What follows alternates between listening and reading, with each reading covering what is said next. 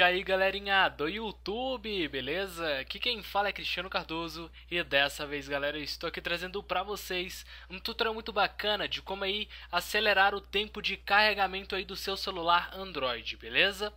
Então galera, primeiramente gostaria de agradecer a todos os inscritos do meu canal do YouTube e convidar você que ainda não é inscrito a se inscrever no meu canal, eu Cardoso Tutoriais, dá uma conferida no meu conteúdo e se inscreve, eu tenho vários vídeos aí bem legais pra vocês, ok? Então galera, para estarmos dando início ao nosso tutorial, vocês vão ter que baixar um programinha. Né? Você pode estar procurando aqui por o carregamento rápido aqui na Google Play ou também na descrição do vídeo que eu vou deixar um link aí, só clicar e tá baixando o aplicativo, ok? Então o aplicativo é bem simples, é bem bacana, é só você estar tá entrando nele aqui. Ele tem umas uma interface bem bacana de você estar tá entendendo. Primeiro aqui é o Home, que você pode otimizar aí a sua bateria para estar tá, é, tendo mais tempo de duração. E aqui em carregamento rápido é aonde que a gente quer chegar, né? Onde que a gente quer estar tá carregando o celular mais rápido. Então você vai estar tá conectando aí o seu celular com o, o carregador do seu celular.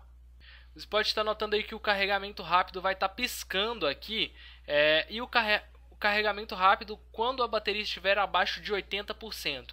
Então você deixa aqui carregando o seu celular tranquilamente aí que você pode estar notando uma diferença. É só você deixar nessa tela aqui conectado com o seu carregador que você pode estar notando que vai estar carregando aí muito mais rápido aí, beleza? Então depois que você tenha carregado aí seu celular para você estar otimizando para estar ganhando tempo de bateria, só clicar aqui neste botão azul que você pode estar aí é, você marca aqui essa opção, volta, clica aqui de novo e ele vai estar tá aí é, te dando aí tempo de bateria, né?